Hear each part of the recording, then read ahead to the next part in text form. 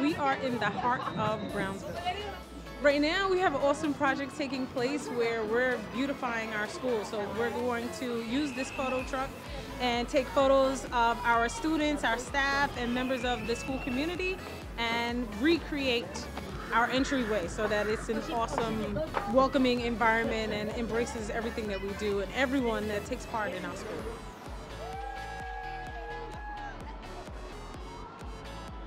If the school is not the way the kids want to see it, they're not going to want to be here. If they see their pictures up, if they see a happy environment, if they see a beautiful environment, the kids are going to want to come to school.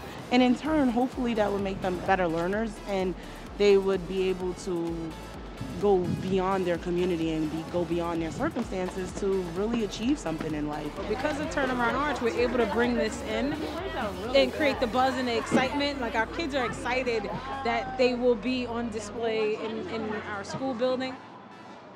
Everyone is connected to the school in some way.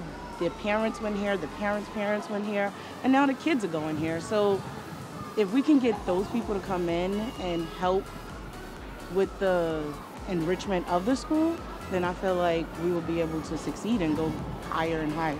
The sky's the limit.